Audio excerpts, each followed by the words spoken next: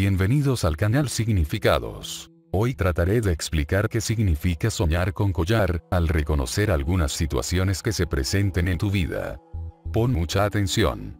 Soñar con collar significa un lazo, una dependencia entre quien lo lleva y quien se lo da o coloca. Por ello, estos sueños nos previenen para que vigilemos nuestra libertad e independencia. Cuando somos nosotros mismos quienes colocamos o regalamos el collar, el sueño nos revela que deseamos a aquella persona, ya sea para atarnos a ella como pareja o por mera sensualidad. Ver llevar un collar en los sueños significa desahogo financiero, alegría afectiva, felicidad familiar, reconciliación.